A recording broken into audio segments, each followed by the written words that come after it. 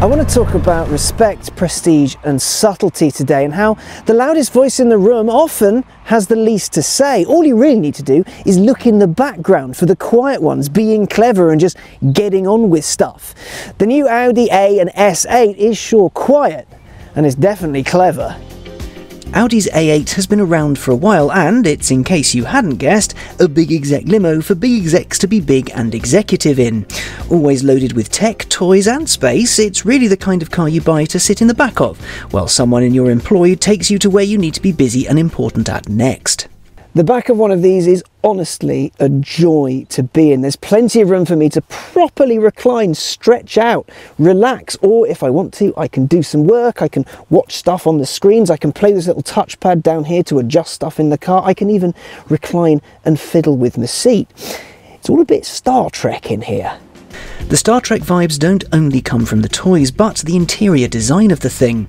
Crisp lines, shiny surfaces, smooth materials, angles all over the place, and mood lighting that you can change to red alert if the mood takes you.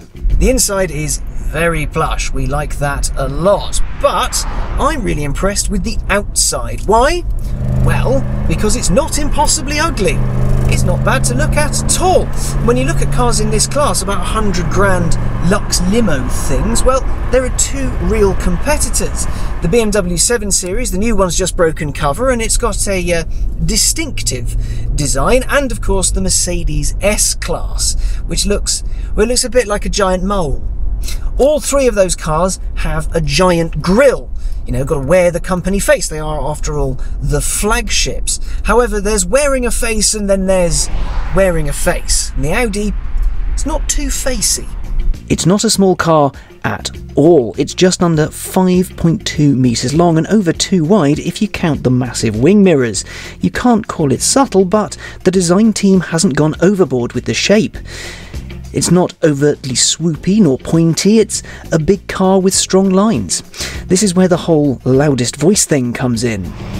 You see, with the comparative anonymity of the A8, you get the impression that Audi knew that it didn't need to try anything big, wild, and silly in order to make its customer base happy. It knows what they want a big, giant slab of wafty car. Exactly what this is. Except remember what I said earlier about the quiet ones being the clever ones? This is a clever one. This thing has a party piece. When you open the door, its air suspension will lift the car to help you get in more easily. Its predictive suspension will also use itself to prop the car up in high speed corners so you stay flat and your coffee unspilled. And in the event of a crash, the car will, well, should, figure out you're about to have an accident and will raise the springs to keep the passengers safe. See, it's clever. But I did lie about the quiet bit. A touch, at least. A normal A8 would be all quiet and wafty, but this is not a normal A8. This is an S8. That means it's got a 4 litre turbocharged V8 with 571 horsepower and 590 pound foot. All that power is fired to all four wheels thanks to a Quattro Sport differential and an 8 speed automatic gearbox. 0 to 62 takes 3.8 seconds, which is alarmingly fast when you consider this thing weighs well over 2 tons and its top speed is limited to 155 miles an hour which is handy if you're late for your next meeting. And it's on the other side of France. The S Audis, for those not paying attention at the back, are the quickish ones, not quite full on RS, but brisk enough to make a dull day brighter. That said, with nearly 600 brake horsepower on board, it doesn't feel entirely fair to say it's sporting rather than sporty. That might be a little difficult though, because this weighs more than a house. It's massive. But let's start with how it actually is on the day to day, normally, when you're not going full S8. It's like driving a cloud, even though it does weigh a thousand million kilos. In Comfort Plus mode, you just sort of glide everywhere. There's no engine noise, no real engine noise, unless you're really pressing on. The steering is light and airy. Of course, there's very little feedback. It's all-wheel drive, and it's not really designed for that. You simply want to turn the wheel and trust that you go the way you want it to. The gearbox shifts imperceptibly. The suspension is super, super soft. Only the really harshest roads will get through it. Yeah, it's a step away from a roller, but still, driving through town early this morning, I was unruffled. I was I was comfortable. I could easily breeze my way through and not worry about anything. The sound system, beautiful Bang & Olufsen was playing my podcast as loud as I'd like it. The safety systems didn't really buzz or get in the way. It was just an experience, quiet, calm, peaceful. It was bloody lovely. I get why people buy these just for themselves because you just you waft. You are in a little bubble, hidden away from the rest of the world. So you can, if you're in the back, get on with whatever work you need to do. If you're in the front, you just sort of forget what's going on. You can rest while driving. The drive modes to play with, of which there are many, there's efficiency, which does obviously what you think it does. There's auto, which lets the car decide what to do. There's comfort plus, which is the one you really want to live in on the day to day. Individual to choose your own adventure. But then if you really want to experience the S in S8, you press dynamic. And what dynamic does is, well, it, it makes everything a little angrier. The gearbox goes into S mode, which means sporty. You hear a bit more of the engine and, well, the powertrain there's this. it keeps the effortlessness up. It's still effortless. All of a sudden, you look down and you're doing ridiculous speeds. But you don't really feel it because it's still the comfortable limo car. You just go, foot down. Ah, yes, I'm now on the other side of France and soon to be heading into Liechtenstein and then maybe a quick nip to the Netherlands for a stroopwafel and a cup of coffee.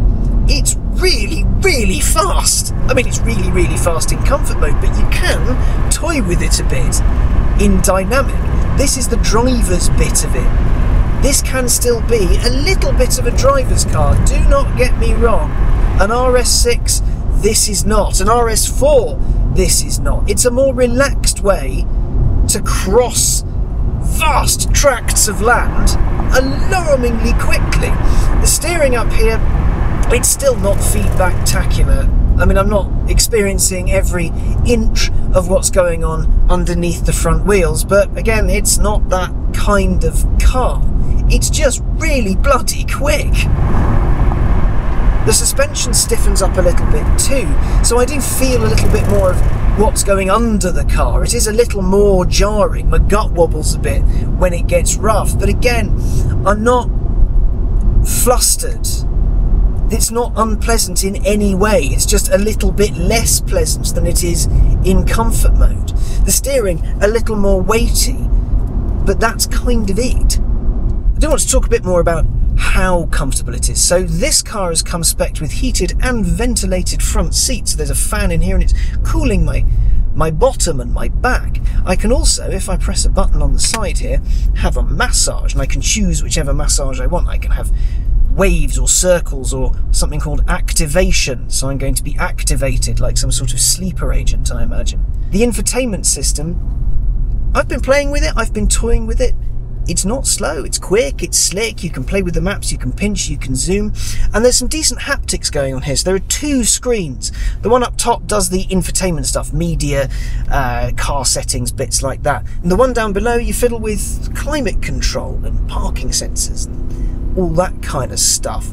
Also, I can raise the rear blind from here. So there's one over the rear window and one over each of the side windows to give my passengers utmost secrecy if they don't want to be seen.